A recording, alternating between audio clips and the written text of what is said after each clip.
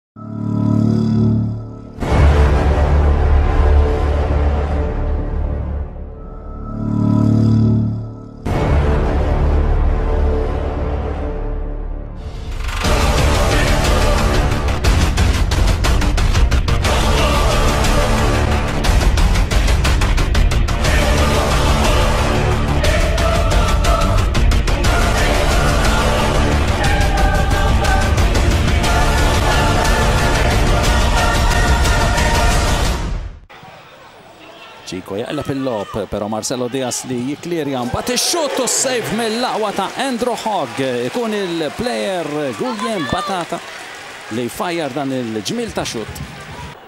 li rebaħ dan il-ballun fil-midfield intant Ħamrun mill-ewwel jingħata l-corner id-daqqa ta' ras u s-save għal darb'oħra ta' Vella li jevita goal ċert. Fuq De Castro Chris hemmhekk miraklu kważi anke t-tieni darba double save.